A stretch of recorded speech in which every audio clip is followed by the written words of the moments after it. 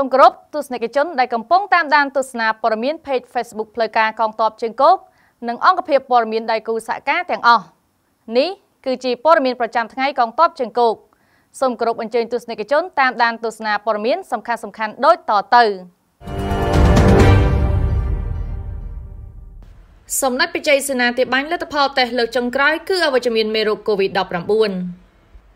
សម្ដេចពិជ័យសេនាធិបាញ់ឧបនាយករដ្ឋមន្ត្រីរដ្ឋមន្ត្រីក្រសួងការពារជាតិបានបញ្ជាក់ពីលទ្ធផលតេស្តលើកចុងក្រោយរបស់សម្ដេចនិងសហការីព្រមទាំងអ្នកនៅជុំវិញខ្លួនដែលមានការពាក់ព័ន្ធព្រឹត្តិការណ៍សហគមន៍28វិច្ឆិកាគឺអវិជ្ជមានមេរោគ COVID-19 សាររបស់សម្ដេចពិជ័យសេនាធិបាញ់បានបង្ហោះនៅលើ Page Facebook ផ្លូវការនាព្រឹកថ្ងៃទី14ខែធ្នូឆ្នាំ2020នេះដែលមានសេចក្តីថាខ្ញុំនិងសហការីព្រមទាំងអ្នកនៅជុំវិញខ្លួន ដែលមានការពាក់ព័ន្ធព្រឹត្តិការណ៍សហគមន៍28វិច្ឆិកាបានធ្វើតេស្តលើកចុងក្រោយនិងទទួលបានលទ្ធផលតេស្តមេរោគ COVID-19 គឺអវិជ្ជមានទាំងអស់ខ្ញុំសូមថ្លែងអំណរគុណដល់ក្រុមគ្រូពេទ្យដែលបានយកចិត្តទុកដាក់ក្នុងការធ្វើតេស្តយកសំណាក់របស់ខ្ញុំនិងសហការីព្រមទាំងនៅជុំវិញខ្លួនក៏ដូចជាក្រុមគ្រូពេទ្យទូទាំងប្រទេសដែលខិតខំយកចិត្តទុកដាក់ខ្ពស់ក្នុងការបំពេញតួនាទីរបស់ខ្លួនយ៉ាងសកម្មដើម្បីសុខភាពប្រជាពលរដ្ឋយើងទាំងអស់ សូមបងប្អូនជនជាតិទាំងអស់បន្តអនុវត្តវិធានការទប់ស្កាត់និងការពារខ្លួនកុំឲ្យឆ្លងជំងឺ Covid-19 តាមការណែនាំរបស់ក្រសួងសុខាភិបាលនិងជូនពរដល់បងប្អូនប្រជាពលរដ្ឋទាំងអស់ទទួលបានសុខភាពល្អបរិបូរណ៍សិរីសួស្តីជ័យមង្គលវិបុលសុខគ្រប់ប្រការកងពលតូចថ្មីជើលេខ41នៃយុទ្ធភូមិភាគទី4ក្រៅពីភារកិច្ចស្នូលការពីជាតិបានឆ្លៀតបង្កបង្កើនផលដាំដំណាំនិងចិញ្ចឹមសត្វ កងពលតូចថ្មីជាលេខ41ត្រូវបានចាត់ទុកថាជាកងទ័ពស្រួយដែលកំពុងបំពេញភារកិច្ចការពារព្រំដែនភូមិសាស្ត្រមុខទិសស្រុកអន្លង់វែងនិងស្រុកត្រពាំងប្រាសាទខេត្តឧត្តរមានជ័យនៃយុទ្ធភូមិភាគទី4ក្រោមការដឹកនាំរបស់ឧត្តមស្នេហ៍តូននាងឃឹមមេបញ្ជាការកងពលក្រៅពីភារកិច្ចការពារបរណភាពទឹកដីបានជំរុញឲ្យគ្រប់បណ្ដាលអង្គភាពចំណុះធ្វើការកែច្នៃប្រឌិតដាំដំណាំចិញ្ចឹមសត្វកសាងអង្គភាពអគារស្នាក់នៅផ្ទះបាយវេទិកានិងការកែច្នៃអភិវឌ្ឍអង្គភាពឲ្យមានភាពរីកចម្រើនគួរឲ្យកត់សម្គាល់។ នៅក្នុងដំណាក់កាលប្រទេសមានសុខសន្តិភាពពេញលេញការងារវឹកវើបានដើរតួនាទីជាយុទ្ធសាស្ត្រនិងតម្រូវឲ្យធ្វើជាប់ជាប្រចាំដើម្បីពង្រឹងសមត្ថភាពទ័ពក្នុងនោះអង្គភាពបានបើកវគ្គវឹកវើបំពេញជំនាញដល់យុទ្ធិនដើម្បីឲ្យយុទ្ធិនក្លាយជាធនធានមានសមត្ថភាពខ្ពស់ក្នុងវិស័យការពារជាតិដែលបានបន្តវេនពីយុទ្ធិនចំនួនចាស់នៅក្នុងនោះផងដែរក៏បានចាត់តាំងឲ្យនាយទាហានចុះផ្សព្វផ្សាយអប់រំចិត្តសាស្ត្រដល់យុទ្ធិននៅបណ្ដាវរៈស្នាតូចចំណុះឲ្យកងពល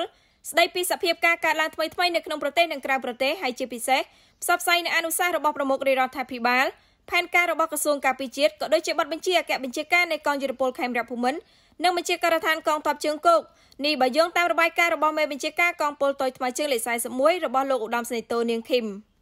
មេបញ្ជាការកងពលបានដាក់ផែនការលើកទឹកចិត្តដល់អង្គភាពដែលមានស្នាដៃលេចធ្លោលើការងារបង្កបង្កើនផលនិងចិញ្ចឹមសត្វដែលកងពលបានចាត់តាំងការងារគណៈកម្មាធិការឲ្យមានចលនាប្រឡងប្រណាំងគ្រប់បណ្ដាកងឯកភាពដោយចុះត្រួតពិនិត្យប្រចាំខែជ្រើសរើសយកអង្គភាពមានស្នាដៃល្អដូចជា ការបង្កបង្កើនផលដាំដំណាំនិងចិញ្ចឹមសត្វដែលជាការច្នៃប្រឌិតបន្ថែមលើប្រាក់ហូបប្រចាំថ្ងៃរបស់ប្រមុខរាជរដ្ឋាភិបាលធ្វើឲ្យជីវភាពកងទ័ពនិងគ្រួសារកងទ័ពរីកចម្រើនផងដែរ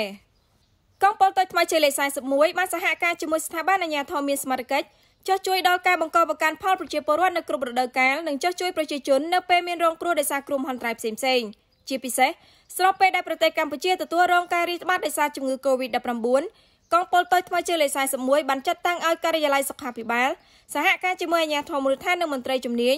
ចុះវាស់កម្ដៅដល់ប្រជាពលរដ្ឋនិងចូលរួមផ្សព្វផ្សាយសេចក្តីអំពាវនាវរបស់រាជរដ្ឋាភិបាលអគ្គបញ្ជាការដ្ឋាននៃកងយុទ្ធពលខេមរៈភូមិន្ទបញ្ជាការដ្ឋានកងទ័ពជើងគោកក៏ដូចជាការណែនាំរបស់ក្រសួងសុខាភិបាលផងដែរ។ តំបន់ប្រតិបត្តិការសឹករងកំពង់ឆ្នាំងចូលរួមទប់ស្កាត់ការរីករាលដាលជំងឺ Covid-19 ក្នុងដំណាក់កាលនៃព្រឹត្តិការណ៍សហគមន៍28វិច្ឆិកានៅទីបញ្ជាការតំបន់ប្រតិបត្តិការសឹករងកំពង់ឆ្នាំងនិងអង្គភាពចំណុះត្រូវបានរាយការណ៍ថាបាននឹងកំពុងអនុវត្តខ្ជាប់ខ្ជួនតាមសេចក្តីណែនាំលេខ016 020សនណស្ដីពីការបង្ការការពារនិងទប់ស្កាត់ការរីករាលដាលនៃជំងឺ Covid-19 ក្នុងដំណាក់កាលនៃព្រឹត្តិការណ៍សហគមន៍28វិច្ឆិកា ដែលចេញដោយអាយឧត្តមឧត្តមស្នេហ៍ឯកពូសបុឌីមេបញ្ជាការរងកងទ័ពជើងគោកមេបញ្ជាការយុទ្ធភូមិភាគពិសេសចុះថ្ងៃទី7ខែធ្នូឆ្នាំ2020នាពេលកន្លងទៅលោកឧត្តមស្នេហ៍តូថនធឿនមេបញ្ជាការតំបន់ប្រតិបត្តិការសឹករងកំពង់ឆ្នាំងបានធ្វើការផ្សព្វផ្សាយសេចក្តីណែនាំរបស់យុទ្ធភូមិភាគដល់កងកម្លាំងទាំងអស់បានយល់ជ្រាបនិងបានជំរុញការអនុវត្តឲ្យមានប្រសិទ្ធភាពខ្ពស់នៅរាល់បទបញ្ជានិងវិធានការនានារបស់ក្រសួងសុខាភិបាលផងដែរ ជាមួយនឹងការអនុវត្តសេចក្តីណែនាំឧត្តមស្នេហ៍តូថនធឿនបានចាត់តាំងផ្នែកសុខាភិបាលរៀបចំកម្លាំងនិងឧបករណ៍សុខាភិបាលដើម្បីពិនិត្យវាស់កម្ដៅបាញ់អាល់កុលនិងចែកម៉ាស់ជូនពួកគាត់រាល់ពេលចូលមកកាន់ទីបញ្ជាការនិងបានណែនាំដល់កងកម្លាំងទាំងអស់ត្រូវអនុវត្តឲ្យបានល្អនៅវិធានការរបស់ក្រសួងសុខាភិបាលក្នុងករណីដែលមានរោគសញ្ញាសង្ស័យណាមួយត្រូវប្រញាប់រាយការណ៍និងមកជួបគ្រូពេទ្យដើម្បីពិនិត្យនិងតាមដានឲ្យបានល្អជៀសវាងការលាក់បាំងព័ត៌មានដែលនាំមកនូវការប្រឈមមុខខ្ពស់និងការឆ្លងរាលដាលក្នុងសហគមន៍បន្ថែមទៀត។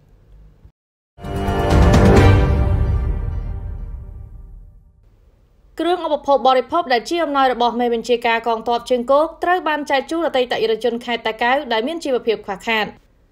លោកឧត្តមស្នេហ៍ត្រីនាងសុភារ៉ាមេបញ្ជាការតំបន់ប្រតិបត្តិការសឹករងតាកែវប្រធានសមាគមអតីតយុវជនកម្ពុជាខេត្តបានជួបសំណេះសំណាលជាមួយអតីតយុវជនក្នុងស្រុកបុរីជលសាចំនួន10គ្រួសារ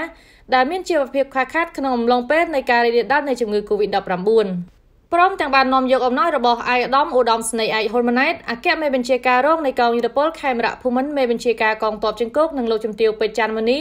ជូនដល់អតីតយុវជនទាំង10គ្រួសារដោយក្នុងមួយគ្រួសារទទួលបាននូវគ្រឿងឧបភោគបរិភោគចំនួន6មុខនិងថវិកាចំនួន50000រៀល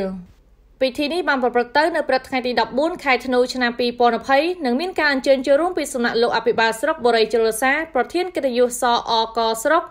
លោកអធិការស្រុកកងរាជអាវុធហត្ថស្រុកមេបញ្ជាការផ្នែកសឹករងនិងអាជ្ញាធរភូមិឃុំផងដែរលោកឧត្តមស្នេហ៍ត្រីនាងសុភារ៉ាបាននាំមកនូវការផ្ដាំផ្ញើសាកសួរសុខទុក្ខពីសំណាក់ឯកឧត្តមហ៊ុនម៉ាណែតនិងលោកជំទាវដែលជានិច្ចការតែងតែគិតគូរដល់សុខទុក្ខចំពោះអតីតយុវជននៅគ្រប់ទីកន្លែងក៏ដូចជាប្រជាពលរដ្ឋទូទៅដែលមានការខ្វះខាតនិងកំពុងត្រូវការជំនួយក្នុងដំណាក់កាលដែលពួកគាត់ជួបការលំបាកនិងបញ្ហាប្រឈមដែលបណ្ដាលមកពីជំងឺ Covid-19 លោកឧត្តមស្នេហ៍ត្រីបានណែនាំដល់អតីតយុវជននិងប្រជាពលរដ្ឋទាំងអស់ត្រូវបន្តយកចិត្តទុកដាក់ថែរក្សាអនាម័យនិងអនុវត្តឲ្យបានខ្ជាប់ខ្ជួនចំពោះវិធានការទាំងឡាយរបស់ក្រសួងសុខាភិបាលដើម្បីការពារខ្លួននិងក្រុមគ្រួសារពីជំងឺដ៏កាចសាហាវនេះទស្សនិកជនដែលកំពុងតាមដានទស្សនាព័ត៌មាន Page Facebook ផ្លូវការកងទ័ពជើងគោកនិងអង្គភាពព័ត៌មានដៃគូសហការទាំងអស់ជាទីគោរពព័ត៌មានប្រចាំថ្ងៃកងទ័ពជើងគោកបានមកដល់ទីបញ្ចប់។ នាងខ្ញុំអនុស្នេហ៍ឯកកុងស្រីមុំសូមគោរពថ្លែងអំណរគុណយ៉ាងជ្រាលជ្រៅចំពោះការចំណាយពេលវេលាដ៏មានតម្លៃតាមដានទស្សនារបស់ទស្សនិកជននាពេលនេះនាងខ្ញុំនិងក្រុមការងារសូមអរគុណសូមគោរពលា